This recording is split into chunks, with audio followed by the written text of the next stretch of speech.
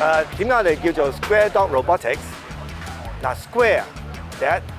其實係最基本設計嘅圖形其中一個嚟嘅，亦都代表咧其實我哋公司咧原創嘅科技百分之一百係自主研發嘅，亦都係從最底層最開始去設計，即係從 Square One，咁所以有 Square 呢個字。咁 Dog 咧其實就係人類嘅好朋友嚟嘅，咁其實我哋啲機械人咧都係設計出嚟係為人類服務嘅。係唔係要取代人類，而係希望俾人類提供最好嘅服務。咁所以咧，我哋就用咗 Square Dog Robotics 呢個名啦。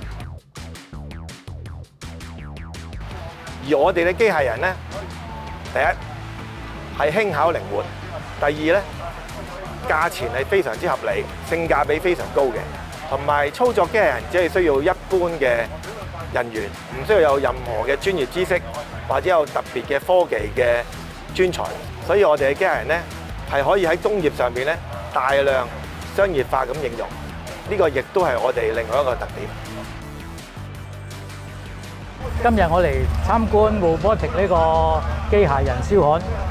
咁啊，我今日體會到機械人燒焊嗰個啊發揮咧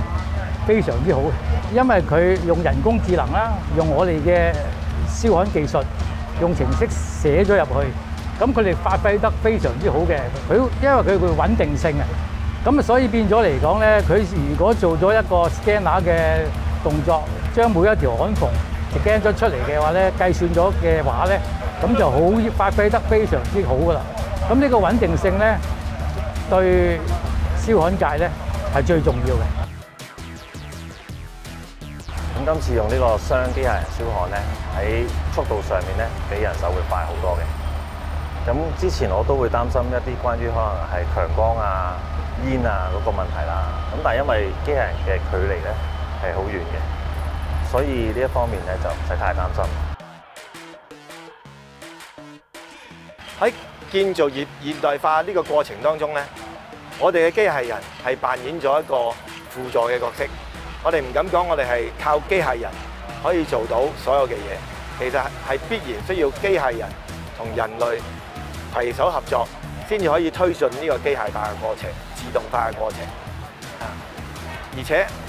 呢個係一個過程嚟嘅，即係今日我哋係喺一個起步階段。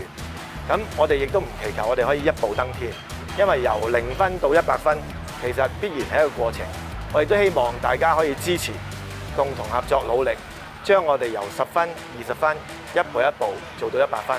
咁喺呢個過程當中，我哋希望亦都做出我哋喺機械人呢方面嘅貢獻，亦都同業界緊密合作，共同進步。